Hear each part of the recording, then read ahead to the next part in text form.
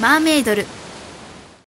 マーメイドルと？チギョーズの？マメに頑張れんばーイエーイ！皆さんこんにちは。マーメイドルのシオンと。チギョーズの沖谷みんなです。ということでですね、はい。今回はこちら！じゃーん。岩下の新生姜を使ったアレンジレシピを作っていきたいと思います！やった第1弾ということでねすごいですよね。生姜は好きですか？ちゃ好きです。私も好きなんですよ。ピンクの汁がいいですよね。いや美味しいですよね。これ甘くてね。じゃあ早速開けていきたいと思います。はい。これねこっから開けると思うじゃん？お。ちゃんとねここにえね開け口が？開け口があるんです 親切。そうすごいね。これいいよねゃんとね、うん。消費者のことを考えて作ってるんですよ。すごい。おこれ早速ねお皿に開けていきますよ。あー。全部入るかな。あおいい色。なんか近々 T シャツが出るそうで、えこのー、新生姜のねあ欲しい。見ました。可愛いよねピンクピでンクのなんかこうリアルな。夢皮っていうのかなあれ、えーわかんないけかわいい。ど可愛いよね。出ました美味しそう。あいいですね。いいね。可愛い。かわい。い結構ピンクなんだね。結構ピンクついてますね。ほら。すごいよピンク。じゃあこれを刻んでいきます。でおも生姜ってもともと刻まれてるのからしか食べたことないあから。私もそうそう。このまんまのはねあんまり触ったことがないから。どどうやって切るのかわかんない。えこう？まあお好みでねこれは。ここのまま？このままでいい？このままでいい？いいよね。じゃあこのままおこっちから。結構私分厚くても食べれます。あ本当？大好きなんですよ。結構分厚く。おおあすごい。味見してみる？あいい。んですか？いただきます。でっかいの取ったいただいちゃいます。いい音。あ美味しい。おあのお寿司屋さんにあるやつ。ガガリ？ガリ。え でもガリはピンクじゃないよね。ガリ？な何色でした白じゃない？あオレンジみたいな。オレンジみたいな。めっちゃ美味しい美味しい。絶対美味しい。匂いがねいい匂いだもんこれ全然このままでもいねけますね。えよいしょ。うわいい感じ。ちょっとこれ太すぎたわ。いい。これ太すぎた。わちょうどいい甘さですね。あいいね。半分に切ってくるおお私あんま大きいとあんまり食べれない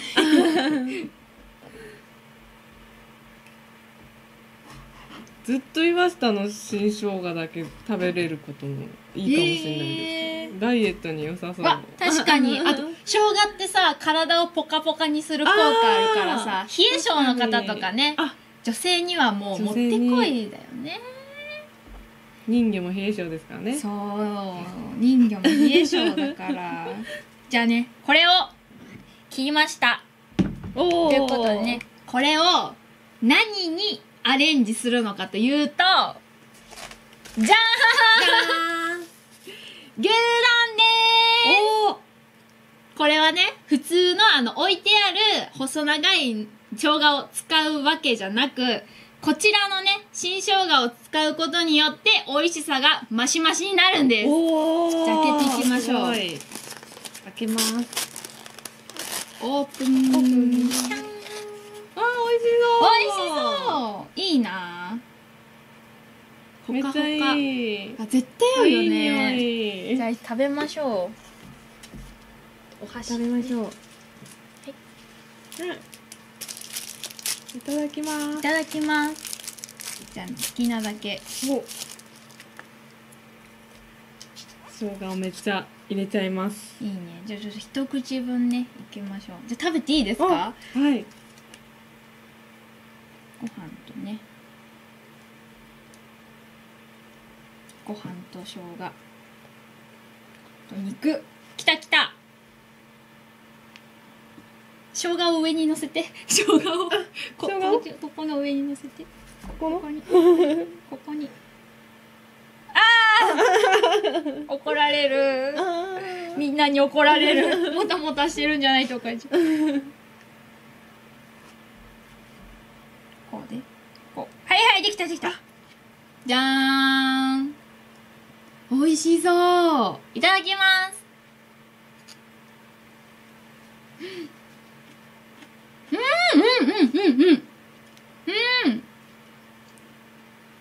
うん。美味しい。うんめちゃくちゃ美味しい。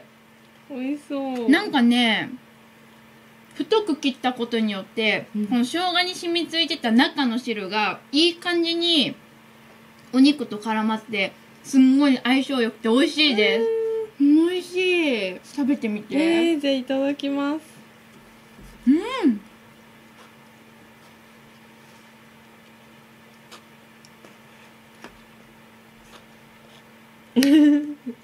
難しいよね。みんなによく見せたいから頑張ってるよギャミちゃん いただきます。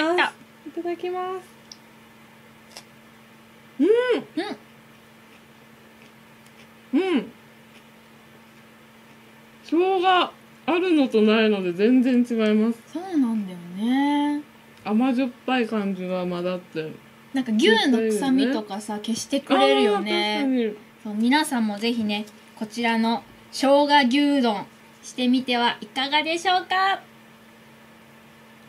こうね岩下ということが特別ですから皆さんぜひ試してみてください。バイバーイ。